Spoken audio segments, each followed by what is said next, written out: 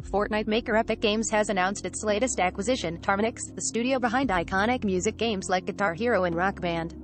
In a blog post Harmonix said that support for existing games like Rock Band and Fuser would continue.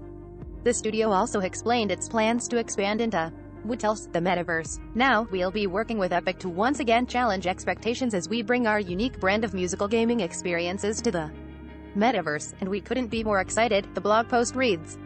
As part of this, Epic says that the studio will develop musical journeys and gameplay for Music has become an increasing focus for Epic, following the big success of virtual concerts inside of Fortnite from the likes of Travis Scott and Ariana Grande, and according to the company, scooping up Harmonix fits into that musical focus. Music is already bringing millions of people together in Fortnite. From more emotes to global concerts and events, Alain Tascan, Epic's VP of Game Development, said in a statement.